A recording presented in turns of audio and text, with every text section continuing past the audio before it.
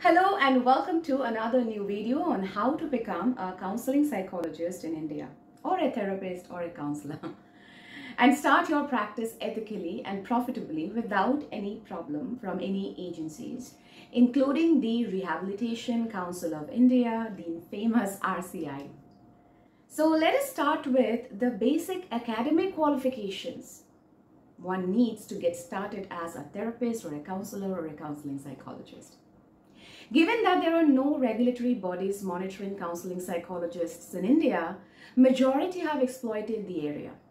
People so far would go do a two-year degree in MA psychology in person uh, or online and then open a clinic as a counseling psychologist. Some did not even bother to do an MA psychology, but just a BA psychology and they became therapists.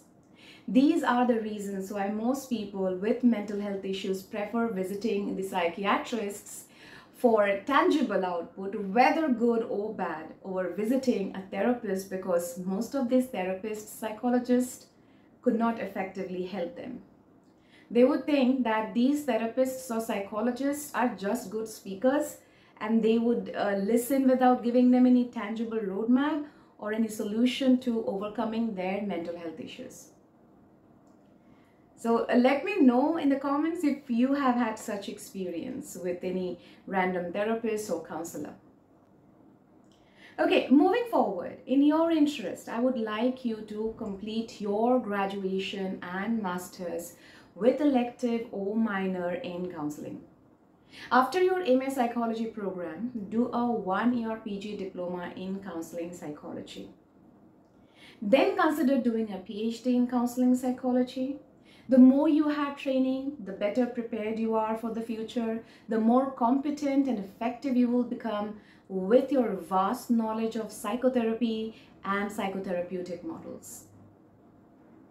Nobody can then dismiss you as a top therapist because while you will have to talk technically, but it will be training and therapy oriented, not like agony aunts and uncles. Yeah.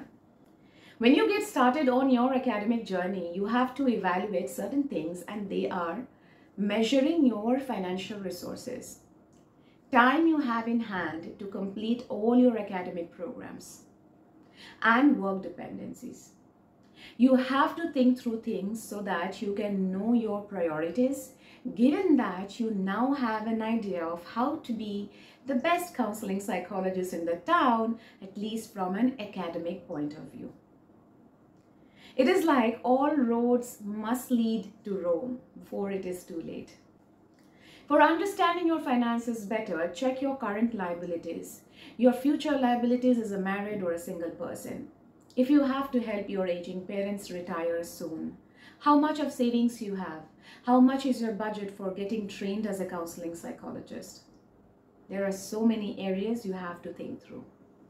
If you are a working professional with already five to six years of work experience, maybe in the IT world, consider if you are determined about your career switch and leave your stable a job or your good or bad boss, whatever, because end of the day, professional security ascertains financial and social security. Together, they cushion you through emotionally tough times and physical challenges, right?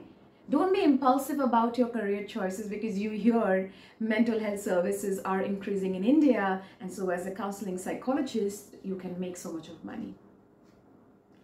Okay, now you got to understand that unlike rehabilitation psychologists or clinical psychologists in India, you do not have anything like registered counseling psychologist as Rehabilitation Council of India as of 2024 does not monitor it.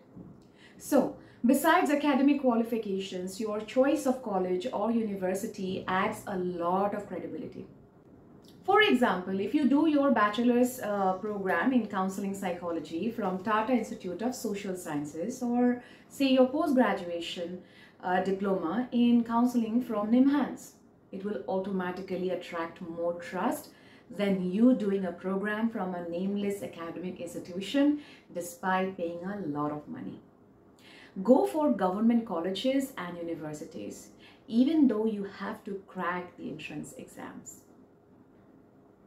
So, All in all, assess your current financial, professional, personal liabilities and accordingly get bachelor's and master's in psychology with focus on counseling get a postgraduate diploma in counseling psychology do certification courses and internships the more the merrier everything will count toward your experience and training and make you a choice for universities to select you. And that will make you a choice for people seeking therapy to select you. Interesting right? Simultaneously, if you can have a social media account where you present yourself confidently, you know, engaging with people on safe public practices uh, for better emotional health, you are all ready to start your practice. Don't hit the practice right away after MA though. Throughout your bachelor's and master's in psychology, focus on learning therapeutic models and internships start practicing after PG Diploma in Counseling Psychology, which is a year's program you can do after master's. Then with time, with some savings, you can enroll for your PhD, which will qualify you to take senior roles in international schools in India or abroad or professorship in universities. By the way, government PhDs give you stipend as well that can supplement your income and give you a chance to advance your research.